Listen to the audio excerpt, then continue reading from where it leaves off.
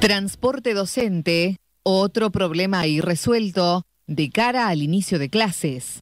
En una semana comenzarán las clases y los docentes continúan planteando la continuidad de obstáculos que no han sido superados por el Ministerio de Educación. Al estado de abandono que presentan muchas de las escuelas de la provincia, principalmente las del interior, se suma ahora la situación de los trabajadores docentes en las distintas localidades. El año pasado, los prestadores de servicio de transporte exigían el pago y cancelación de deudas del traslado de maestros y profesores a distintos destinos de la provincia, incluidas zonas desfavorables. La verdad que llegó un punto que tengo uno de los empleados que sí, me quisieron hacer una demanda por, por cuestiones justamente de falta de pago. Y es, la verdad es terriblemente la situación. En mi caso, yo tuve la oportunidad de, de, un, de la facturación de un mes, me la han dividido en tres partes. Le puedo decir que el, el último monto que me dieron fueron de 9 mil pesos y yo con 9 mil pesos yo no no puedo terminar de, gestionar los servicios y bueno. Que me deben, me están debiendo cinco meses y bueno, eh, lo peor de todo es que ahora nos, nos, dicen de que los últimos meses, ya sea septiembre, digamos octubre, noviembre, diciembre, pasaría deuda pública. Eh, ¿Cuántas empresas están en esta situación? Bueno, creo que son 100, 130, creo que son, perdón, no sé si me quedo, pero somos en total así. ¿La deuda cuánto asciende? Eh, sí, más o menos de cinco meses serían este, 680 mil pesos, más o menos porque son de acuerdo de los recorridos, algunos son recorridos muy cortos y bueno. ¿Esto es en concepto de BEGUP y abonos docentes? Eh, es transporte, digamos, en sí de docentes y en algunos casos de alumnos también. Trasladamos a 12 docentes, trabajamos todo el año y todos los días.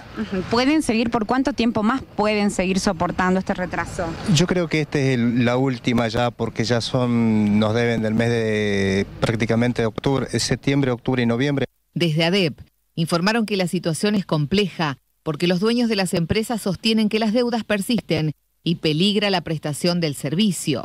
Esta incertidumbre promueve la aparición de transportes alternativos que no tienen los papeles al día y que en muchos casos presentan serias deficiencias.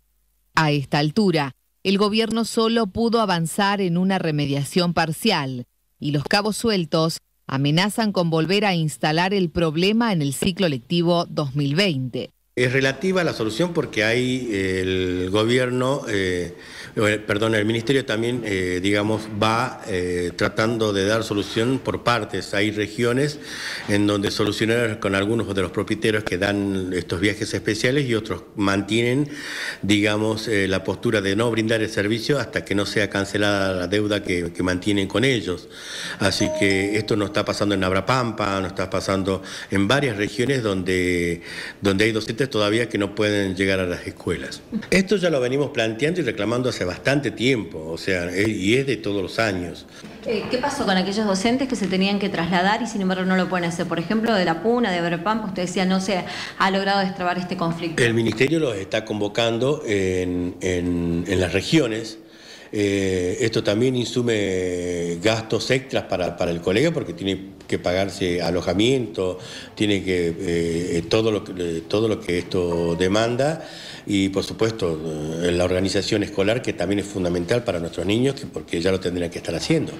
Los atrasos en los pagos de comerciantes, transportistas y empresarios, más los anuncios sobre el limitado presupuesto de la cartera de educación, arriesgan el buen desempeño de los educadores jujeños y hasta el inicio de las clases.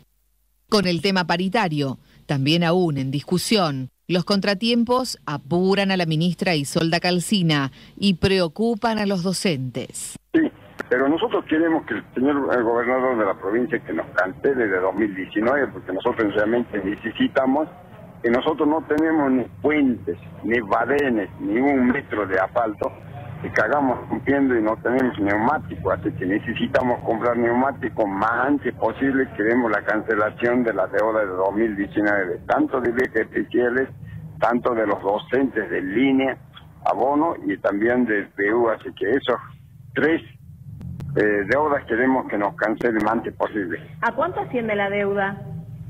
Casi 3 millones eh, 139 mil.